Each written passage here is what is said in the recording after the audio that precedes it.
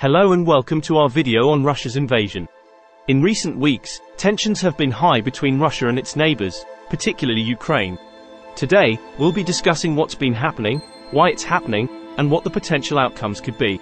On February 24, 2022, Russia launched a surprise invasion of Ukraine, with tens of thousands of troops crossing the border into Ukrainian territory.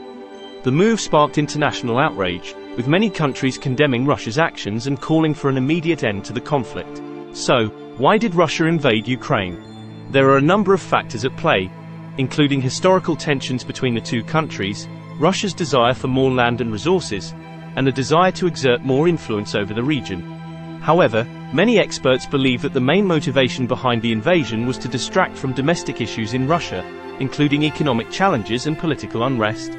Whatever the reason, the invasion has had serious consequences for both Ukraine and Russia. Thousands of people have been killed or displaced, and the conflict has created a new wave of tension between Russia and the international community. So, what are the potential outcomes of this conflict?